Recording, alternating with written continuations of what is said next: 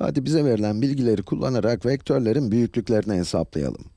Mesela diyelim ki bize bir vektörün bileşenlerini verdiler. a vektörü ne olsun?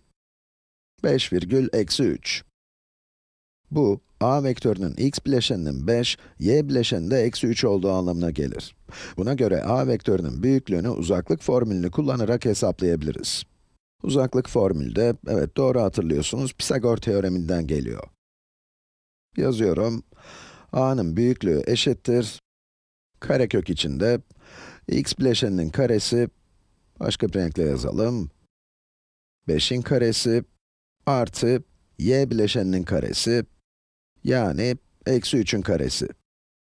Bu da karekök içinde 25 artı 9'a yani karekök içinde 34'e eşittir. Şimdi aynı şeyi bir de görsel olarak düşünelim. Bileşenleri gözünüzün önüne getirerek bunu kolaylıkla yapabilirsiniz ama eğer bunun Pisagor teoremi ile bağlantısını görmek istiyorsanız, hemen x ve y eksenlerini çizelim. Bu y, y bileşeni eksi 3 olduğu için x ekseninde böyle çizelim. Evet, bu da x ekseni. x bileşeni de 5.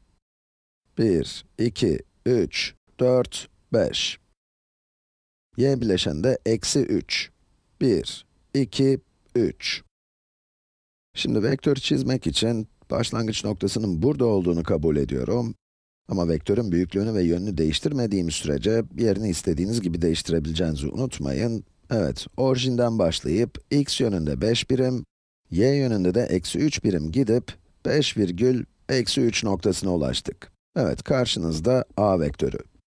Bu vektörün büyüklüğü ise bu doğrunun uzunluğu ile aynı şeydir. Peki, bu uzunluğu hesaplamak için ne yapabiliriz?